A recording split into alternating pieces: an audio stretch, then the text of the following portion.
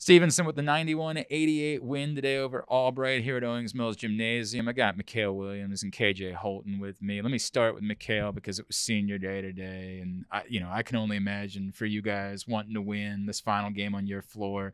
How much did it mean to you? No, how, no matter what it took to get it in order to get a victory today?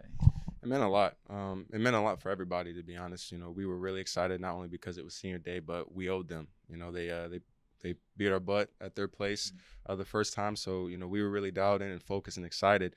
Um, and you know for it to be on senior day and with that type of crowd, it was it was great. You know, KJ, there were a couple times during this game where it felt like you you didn't care. You were just gonna go throw yourself towards the basket and whatever happened, if if you got dismembered going to it, you were gonna do it. Can you take me through the attitude of how much this team wanted to win and what you were willing to do in order to get it? Yeah, uh, it's just it's not just me. I think this entire team is resilient. Um, when we're playing like this and a lot of energy, I mean, I don't. I think the sky's the limit. So we just have to stay focused and yeah, keep keep going. McKale, those free throws down the stretch in overtime, right? Like I, I know you've been through a lot this season and been on and off the floor, and you know coming in today you were a 55% free throw shooter on the year. And I get smaller sample size, but what was going through your mind knowing how badly you guys wanted this one? Well, I mean, I knew that they were gonna leave me open because I not a have not been a good foul shooter at all.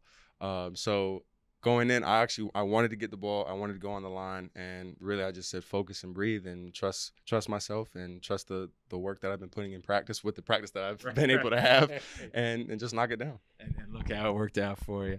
KJ, what's it going to take? You guys going to head on the road to Messiah now to keep your season alive this Wednesday. What what what do you take from this one, and how do you go on the road and get a big win on Wednesday? Um, I think it's, the biggest thing is the details.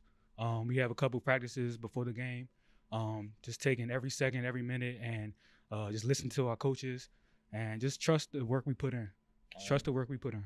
Who do you want to get shout out in for? Who's who's somebody you need to say hello to? Uh, shout out to my mother and father, Melanie and Kenny.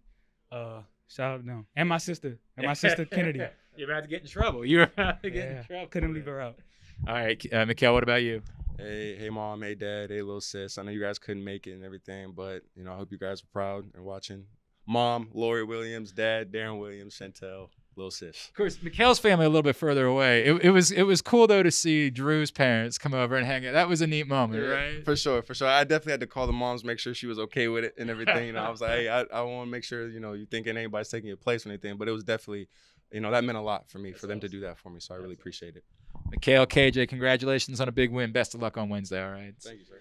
It's KJ Holt, McKale Williams. I'm Glenn Clark. Go MustangSports.com.